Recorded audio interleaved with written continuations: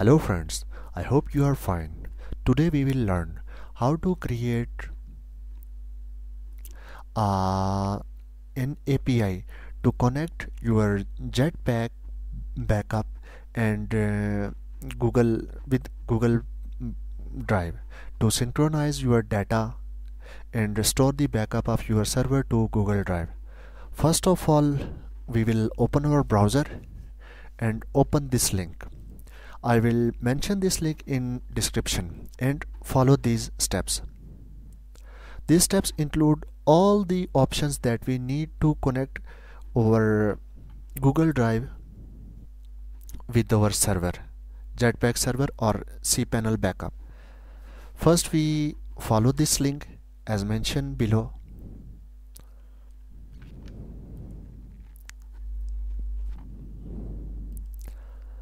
I already opened this link.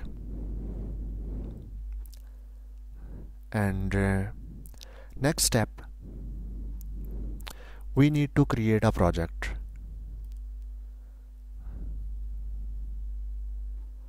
I have clicked on create new project.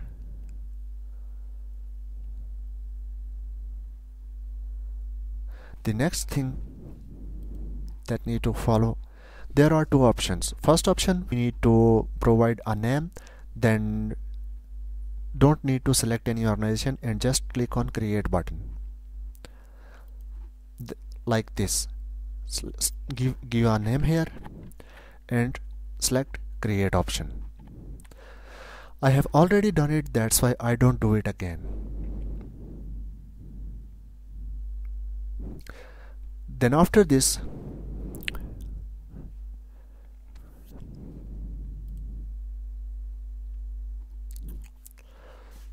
then uh, after creating the project use the search box to search for Google Drive API we will just copy this option and place it on here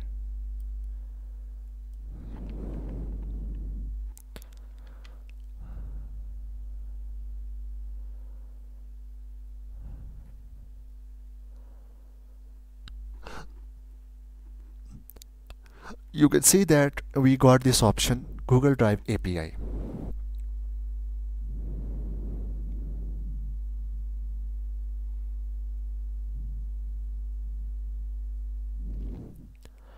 we have faced uh, some kind of internet speed issue that's why it takes some time. You need to wait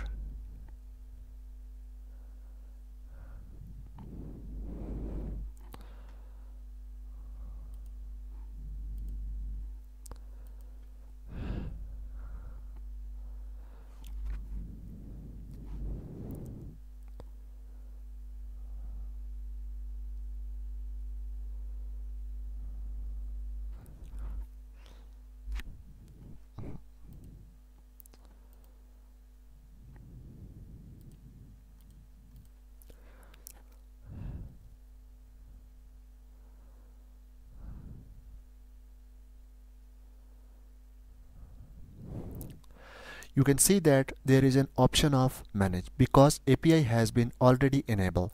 If it's not enabled then you may got an option to enable it. When you click on enable then the next option is you need to copy and paste API and services.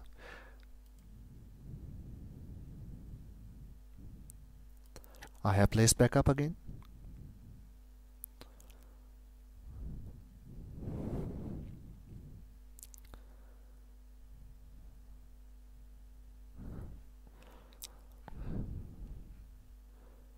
you will got API and services and you need to place it here. Just remove your previous type and type next. API and services. Then just click on API services.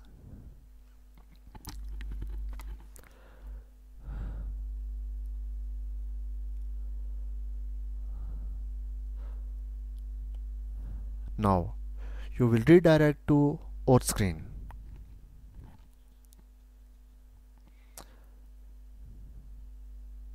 Here you need to click enable API and services.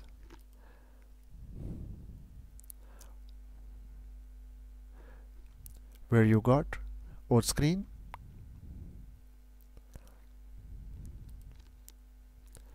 and we have click on OAuth screen.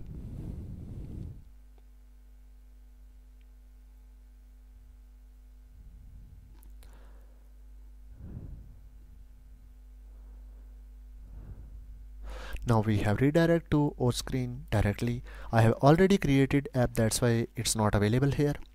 You need to create OAuth screen you just follow these steps as shown in the link that I will provide you. Under the app name you need to place your app.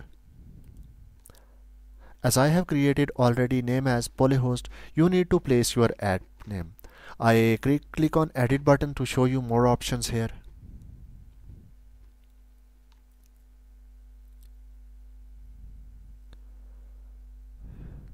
you must need to fill these options in your system. First option is app name your sport email address then logo and your uh, app address privacy policy address terms and condition address your domain name. You need to follow these steps and click on save and continue.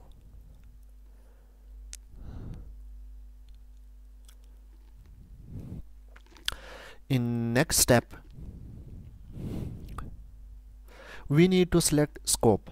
Here you also need to select some scopes that are um, sensitive scopes but you can choose these scopes. This is the option add or remove scopes.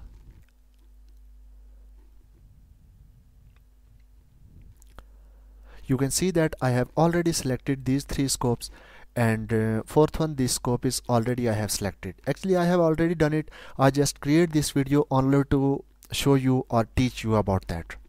Then uh, after select the hope you just need to click on update button and click on save and continue.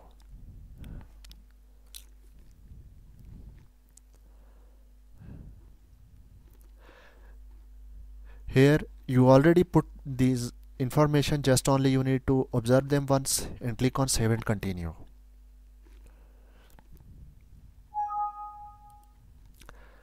This is the final thing that uh, you have put it. Now you you can click back to dashboard option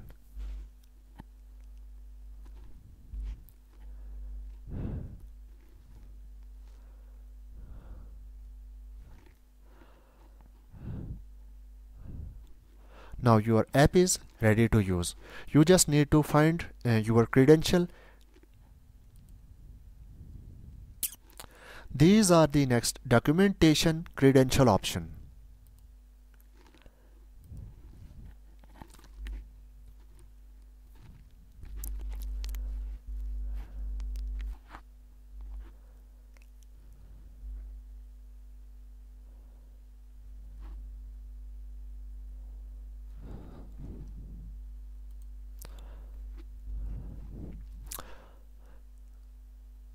this is I have already created.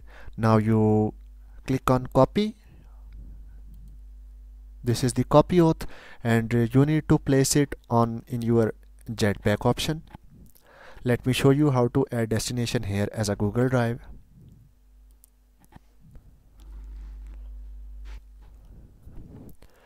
Create new destination. And destination name everything you will place here first of all you need to select as Google Drive then application name directory fill and there is you need to paste auth client that I have copied and uh, you will click on request access then uh, you will directly redirect to Google and your Google Drive is connected to your JetBackup account. I hope this video is whole, hopeful helpful for you and uh, we will meet in next video. Thank you.